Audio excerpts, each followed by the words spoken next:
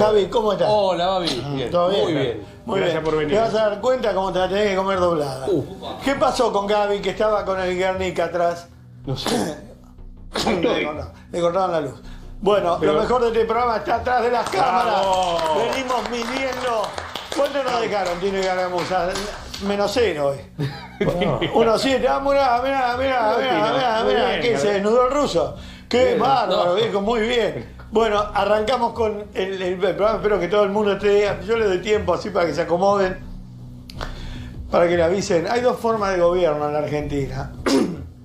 Eh, una que es Alberto, que se lo- lo- me- me- ¿sabés que yo como viejo me toco si tengo la bragueta cerrada? No. Porque siempre salgo con la bragueta abierta, ya está, es el fin. De la bragueta abierta, porque antes vos viste que cuando este, vos salías con la bragueta abierta, tu hijo te decía, papá, te la bragueta abierta. Gracias, hijo. Ahora salís con la bragueta abierta y tu mujer le dice a tus hijos, viste cómo anda con la bragueta abierta. Y bueno, hay que encerrarlo, hay que meterlo en un geriátrico. Y ahí te guardan y no salís nunca más. Cualquier error que cometes después de los 65 años es punible una perpetua en un geriátrico de la mierda. y es más, yo a mis hijos les dije, esperen que el médico digan que estoy muerto. No me cremen. Esperen que le digan que estoy muerto. Bueno, este, cuando la estupidez no supera.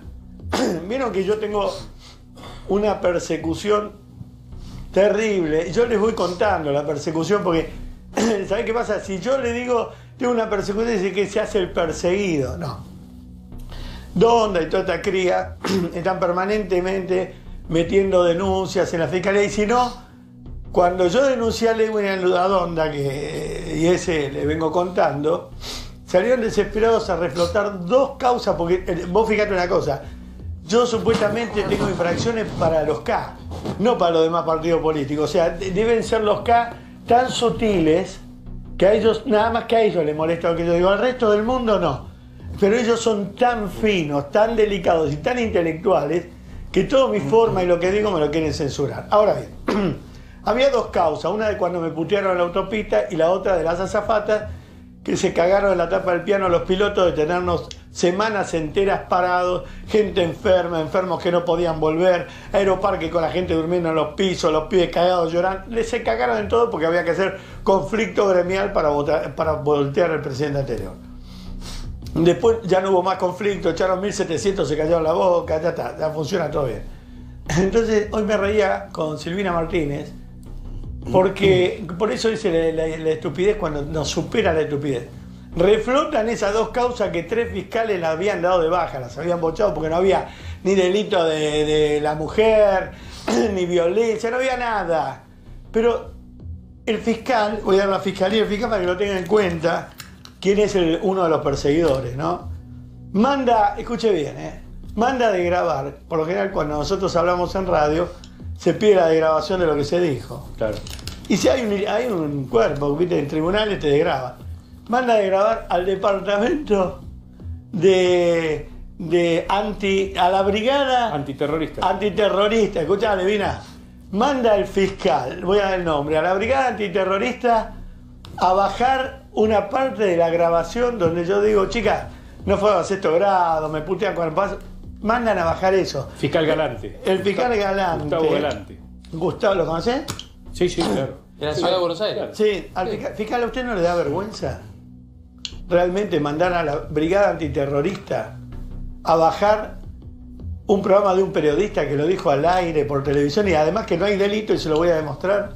¿No le da vergüenza, Galante, cuando usted habla con los demás fiscales y todo? ¿Por qué? ¿Qué pasa? Galante, ¿quién lo mandó a hacer esto? Dígame, ¿quién le exigió? ¿A Moyano le tiene miedo, Galante? Al pibe Moyano le tiene miedo, al que está con la...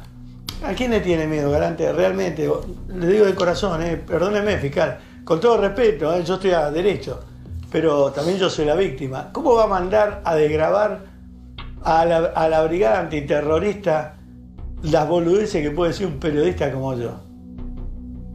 A ver, ¿qué se le pasó por la cabeza, Galante? ¿Dónde me vio la mecha, la ametralladora?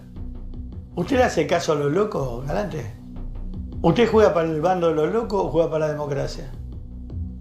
Realmente es bochornoso, es la primera vez que me anoto algo. No podía creer. Mi abogada se cagaba de risa y dice, es un disparate, es un, es, esa causa es un, es un loquero. Le tendría que dar vergüenza, Galante. Molestar y usar el tiempo de la justicia en semejante chusmerío. Entonces yo me puse a pensar hoy, en Mar del Plata, pidieron una moción para un repudio para mí. Y yo voy a dar después la nómina de los diputados, los concejales K y algunos delitos que tienen. Voy a decir quiénes son, que ya me mandaron algunos de los que me repudian. Cómo llegaron a concejal y cómo tienen el culo de sucio. Ustedes están locos, muchachos. Perseguirme como me están persiguiendo. Averiguar en el RENAR para pedir que me tomen la casa a ver si yo tengo armas que no estén registradas. Yo me entero de todo porque sé qué pasa dentro de los K, honestos, y dentro del peronismo. Hay gente que me quiere. Y que me llama y me dice, che, ver. vinieron a Renar a averiguar si tenías armas en tu casa. Están todas en un depósito, en lo de Marcotegui. Las dejé allá hace... ¿Pero qué les pasa que me están siguiendo? Tanto miedo. No hay oposición que me siguen a mí. Me tienen tanto cagazo. Me voy a... Yo creo que me voy a postular a presidente y gano. Y los meto en cana a ustedes, los corruptos.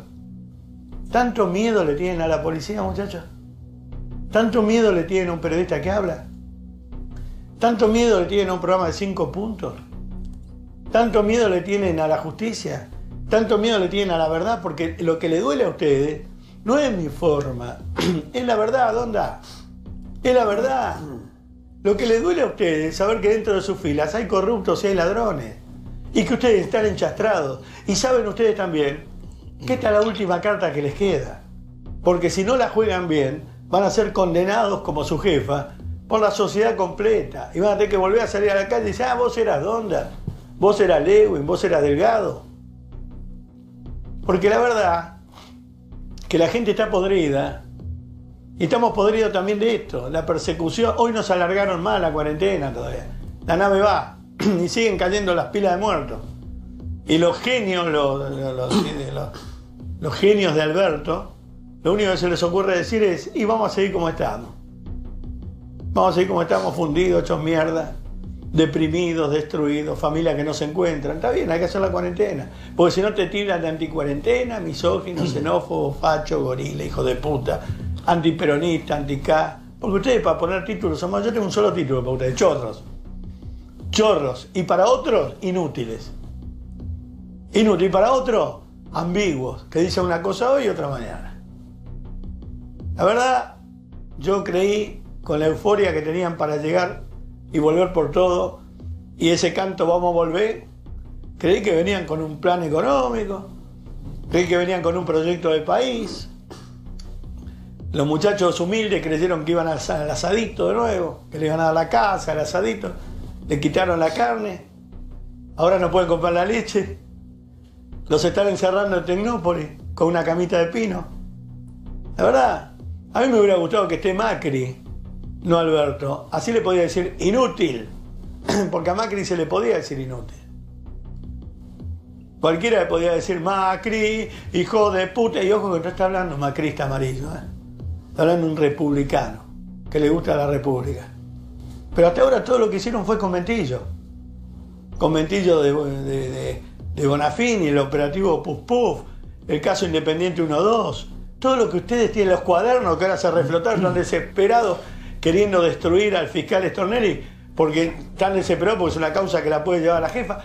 Chicos, ese es el miedo que yo les doy, que en cada lugar los K me quieren hacer. Y yo les molesto a los K porque los K tienen la culpa.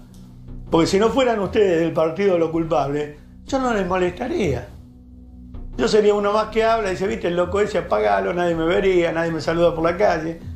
Pero si les duele tanto y, dicen a Babi lo tenemos apuntado, hay que hacerlo callar, hay que silenciarlo, tipo como Babi no pueden hablar, es porque ustedes están tapando la corrupción, están tapando los delitos, porque yo estoy inocente y a mí me dicen, Babi vende falopa en la esquina.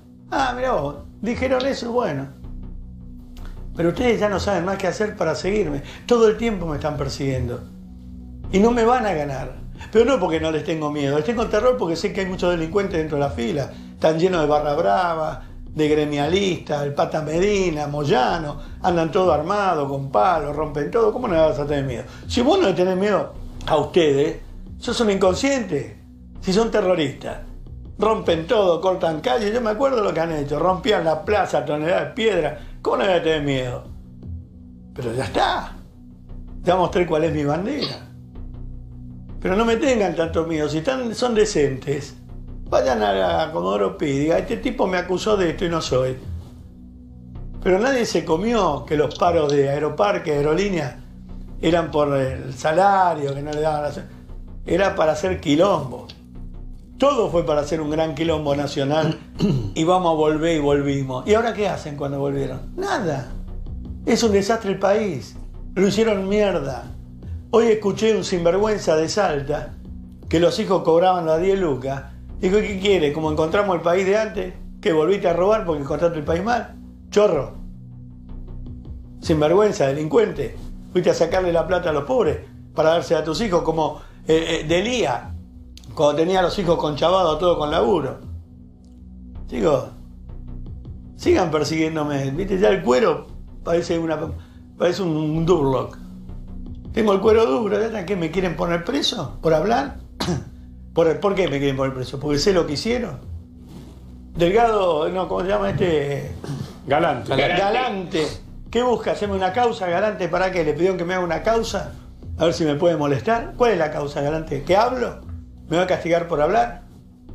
¿Para qué manda a la brigada antiterrorista? ¿Qué, qué se cree que soy yo? ¿Firmenich? ¿A Valmedina? ¿Vaca Narvaja?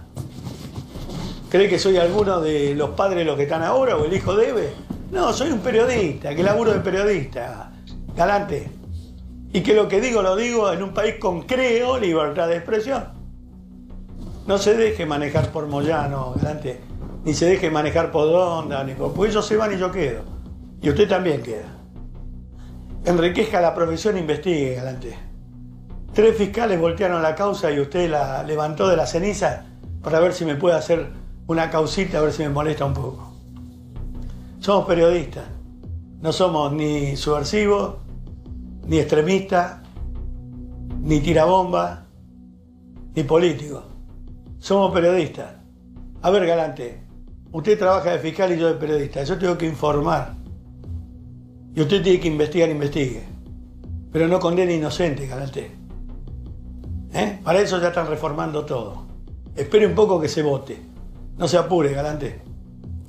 Y no te apures vos, Donda y Lewin, porque lo que dijeron ya lo dijeron y las voy a seguir hasta abajo de la cama. Y no me vengan con el género, porque como siempre digo, en este país la corrupción no tiene género, es corrupción.